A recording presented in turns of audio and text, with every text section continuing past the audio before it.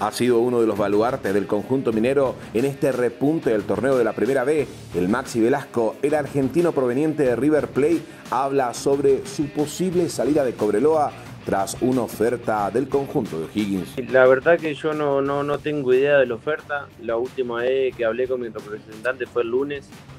que me dijo que O'Higgins le había hecho llegar la oferta para, para presentársela al club pero no le pregunté nada, no le pregunté nada porque bueno, estaba a dos días del partido, eh, yo le dije que él se encargue de todo eso, que lo hable con, con el pato y que si incluso le beneficiado y nos sirve a los dos,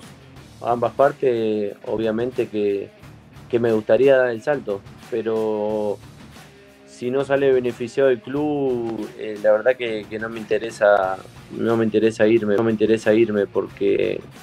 soy consciente que el club en momentos difíciles hizo muchísimo esfuerzo para que, para que yo pudiera seguir mi carrera acá. Un conjunto naranja que ha mejorado en el último tiempo y que este rendimiento se debe al trabajo cohesionado entre el grupo de jugadores que ya se van entendiendo en cancha y se demuestra con los resultados que se están sacando cada vez que Cobreloa juega de local y de visita. De hecho, el conjunto minero está invicto desde hace ya varias fechas. Ahora tenemos 10 días para, para recuperar,